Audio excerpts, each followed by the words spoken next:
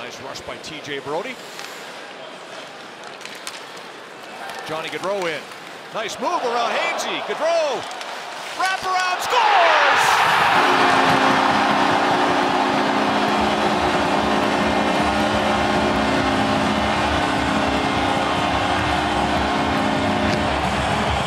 He's something special.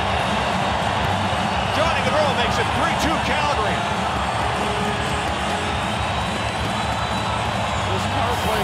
puts him up 3-2. And you're right, he's a special player with special skating abilities, and he dances right around Ron Hainsey, who has had a bit of a tough night.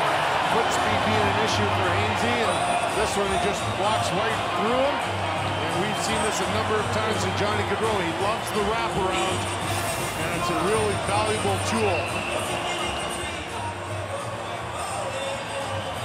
15th goal of the season for Johnny Gaudreau. 20 points now in his last 18 games.